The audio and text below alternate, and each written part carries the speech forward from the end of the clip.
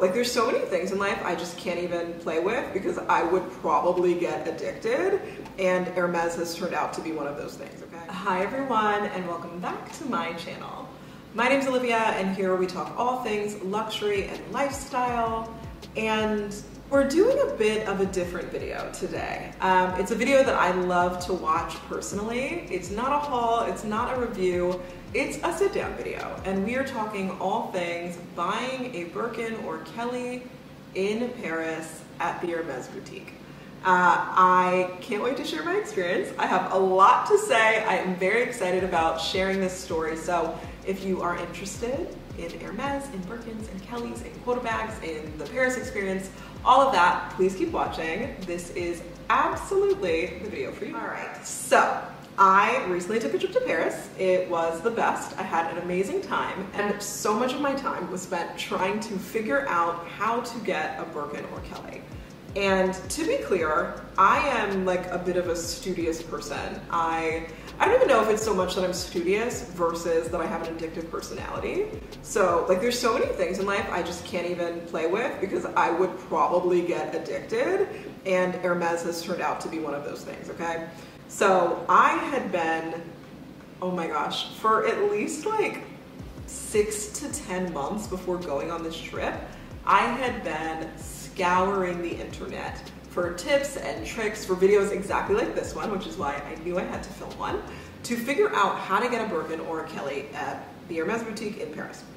And it is so not straightforward. It is absolutely not, you know, you just waltz in and get a bag. And before I get into the story, I will just say that I had full understanding of this going to Paris, right? Again, I had researched. I understood that it was going to be a process that, um, you know, I was really gonna have to have the chutzpah, as they say, okay, to go through this process.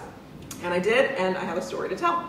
So without further ado, I'll share like how you do it, generally speaking, and then I'll share my personal experience. So how you do it is that you apply for a leather goods appointment on like the special Hermes site. I'll uh, in introduce, I'll enter the link here. Um, you apply for an appointment, a leather goods appointment, through a lottery system on the website that you see on the screen now. And essentially, you have a couple different options. You can choose, if you don't know, there are three stores, three Hermes stores in Paris.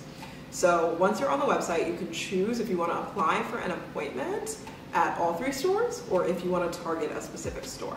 Going into this experience, I had no clue which store I would like the most, which I would feel the best vibe at. Um, so I thought that I would go for Faubourg, which is the flagship store, as opposed to one of the neighborhood stores, um, or George V. So anyway, say it all to say, you have the opportunity to choose if you want to do just one store or if you want to do all three. Um, obviously, it's up to you how you strategize um, in looking through things like PurseBlog and YouTube. Some people tend to target the neighborhood stores versus the flagship store, um, knowing that just the shopping experience will be quite different, that they might have uh, more time with an SA or they might kind of get on better. It might be a more personal experience, personable, excuse me, experience at one of the neighborhood stores. Um, and others target FSH for probably the obvious reason, which is it is the flagship. It's going to have the highest quantity. You may potentially, if this is your thought pattern, have a higher probability of getting a bag there just by facet of there being more bags there, if that makes sense. Um, so there's a lot of different schools of thought, but you go to this website, you choose if you want to apply for all three or one. You can't apply for two, so it's a choice of all stores or isolating it to one store. And you have to do it the day before. So at, I believe, 10 a.m. every morning, Paris time, uh, the appointment system opens. You have to put in all of your passport information, your name, so on and so forth, um, and you apply for an appointment for the following day. So fun fact, very, very fun and flirty fact.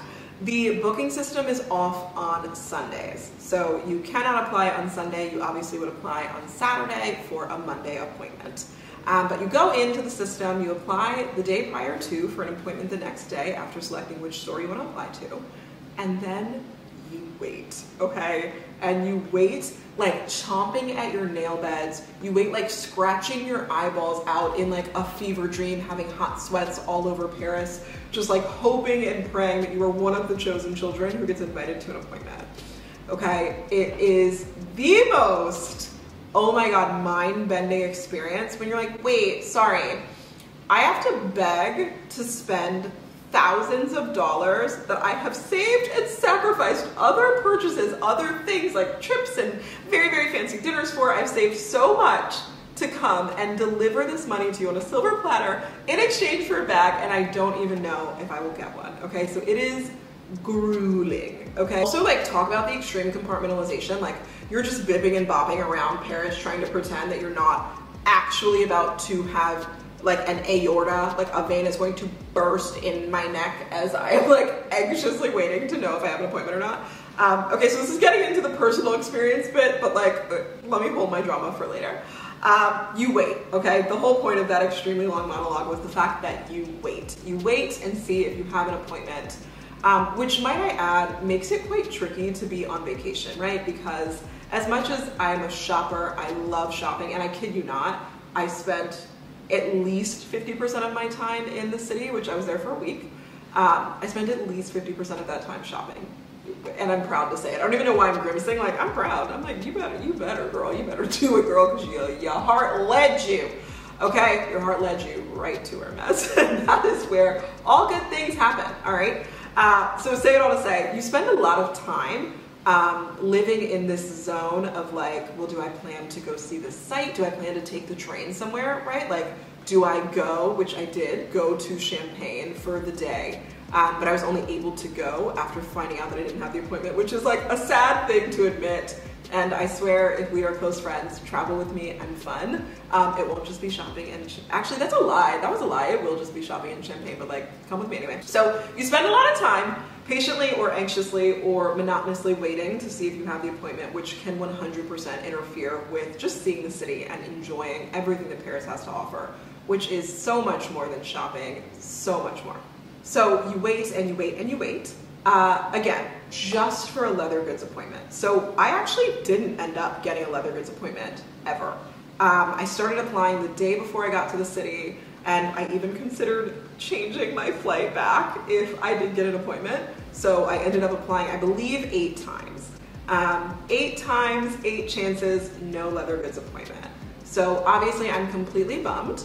But again, from just extensive research, I had heard other people have a ton of success going to a store and kind of just hanging around to see if anyone canceled an appointment. Which, believe it or not, I'm sure some people are like, how could you ever cancel an Hermes appointment? But like, Hermes is Hermes and life is life. So there are instances, of course, where people do cancel an appointment after getting one. Um, and then so obviously one then becomes available. So I heard that if you go to the store around 11 a.m. or 3 p.m., you can inquire as to whether or not any cancellations have come in. Um, or you might just simply get lucky and have someone say, like, yeah, actually, we can take you. Um, I tried that route as well, many, many, many times, and it didn't work either. Um, I'll link above my last video, which is a Hermes Paris haul, uh, which explains what I was doing at Hermes all of those days, what I was getting, what I was buying, all of that. Um, and I'm happy with my purchases, I really am. I love absolutely everything, but I didn't end up getting a bag. And I was deeply disappointed. And again, I knew going into it that there was no guarantee, but you know when you just feel positive about something? Like I think generally speaking, I'm a quite positive person. Um, I believe in the power of manifestation. I think that the things that I put out into the universe will come back to me. So my degree of confidence couldn't have been higher, okay? I did not think there was a chance I wasn't gonna get an appointment. I thought there was a chance that at the appointment I might not get offered the bag that I wanted. Which I'm actually realizing I should explain that bit of the process, okay? So say you get an appointment, you are approved via the lottery system, and you have an appointment at, uh, let's say, George V, uh, the following day at noon sharp. You have to be there on time, okay? Hermes, as we all know, is all about like exclusivity, kind of knowing the right people, what have you. And so the feeling around these these appointments is like very um it's it's like precision shopping, I feel. Like you get there at the right time, you know exactly what you want, what have you. Um, or you're probably leaving like heartbroken, penniless, and you know toothless even if things go that bad. So you get to George V, you're sitting you know off somewhere in the cut, um, and your SA says you know what can I help you with, and you say I am interested in a Birkin. I'm open to sizes 35 or 30, not 25 or 40. I'm looking for neutral palettes, so I'm open to, um, you know, maybe a taupe, a tan, noir, gold, craie, uh, nata, and chai. And I'm looking for specifically Epsom leather or Togo leather. You know, I don't want Swift, which is their kind of soft leather. Um, boom, right? Like, okay. So you give your desired specifications to your SA and then they either come back with a bag or they do not. Um, there's a lot of chatter on the internet around folks believing that you might be a reseller and maybe that's why they don't offer you a bag. Um, them simply obviously not having any of those specific specs. So maybe they do have um, a Craie Birkin, but it's in a 25. Or maybe they have a black uh, Birkin 35, but it is a Birkin Touch and you don't want any exotics on your bag. So many, many reasons go into why you may not be offered a bag or why you may not see anything come out from the back.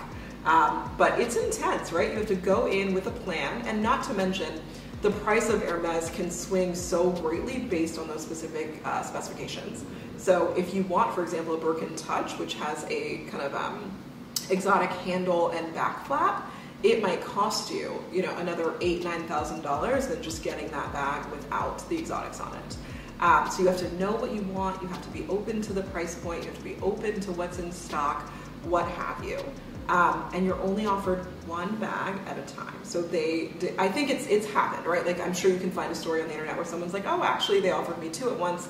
It is rare. The majority of individuals have had an experience where they're offered one bag, and then of course you obviously can say yes or no. You don't have to buy it just because they bring it out, of course.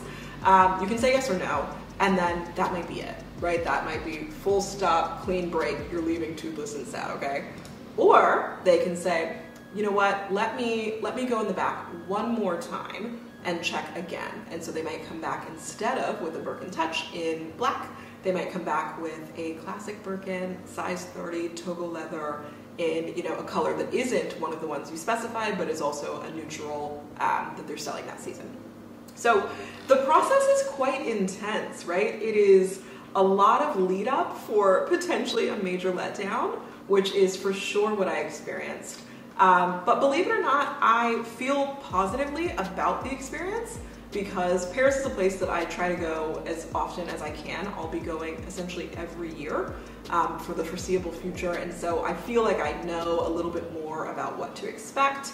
I've built a purchase history. Of course, I did a major haul when I was in Paris, so hopefully I am a familiar name in the system now. I don't know if any of that stuff matters, but I don't know, it just makes me feel better. It makes me feel like um, I know what I'm getting myself into in the future. I am definitely putting aside money again this year for hopefully a Birkin, potentially a Kelly. Um, but I like that there's a little bit of mystery in the whole thing.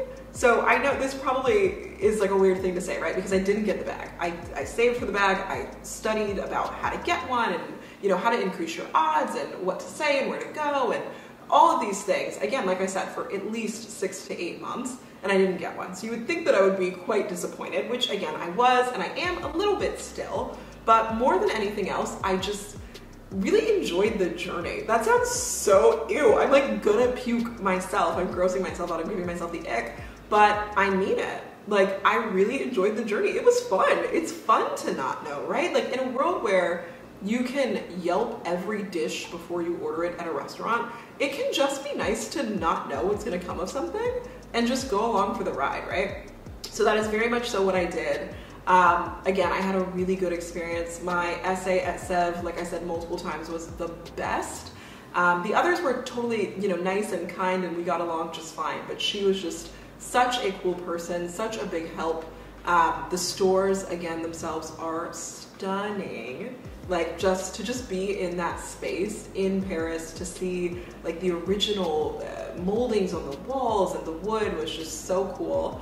Uh, they of course have bags on display like you would never believe. So you get to see things that you might not see just, you know, being carried down the street. So The experience overall was amazing. I will 100% try again. I don't have any hard feelings, um, nothing nasty to say. I know there's some videos of people, you know, just feeling like they were absolutely dejected. And I was joking about leaving penniless and toothless, but like, people were feeling penniless and toothless, okay? And I. I hate that for them, and that is awful. Like, that sounds horrible but I don't have a shared experience. It was lovely. I will try again, and this time I will get one because your girl is determined. Um, and these prices are going up like 8 to 9% every year, so there is a little bit of urgency. Okay, I'm not trying to pay like $100 million in a year and a half to get one of these bags. Um, but I'm excited to try again. I will 100% come back with another video. And truly, I learned a lot along the way. So if you have questions, about the system itself, about the stores, or just like how to not look like a reseller, which seems to be a major concern of Hermes SAs in this day and age. Um, let me know, leave comments, uh, slide in my DMs on Instagram, and I will absolutely engage, answer the questions, and try to help because I want us all to get these bags, right? Like, for so many of us, these are just things that we cannot wait to do that are absolutely on our bucket list and I want to be of help to you. So if you've got any questions that I can answer, please, please let me know. Um, as always, thanks for being here. Don't forget to like and subscribe and stay tuned for many more videos, all things luxury and lifestyle. See ya.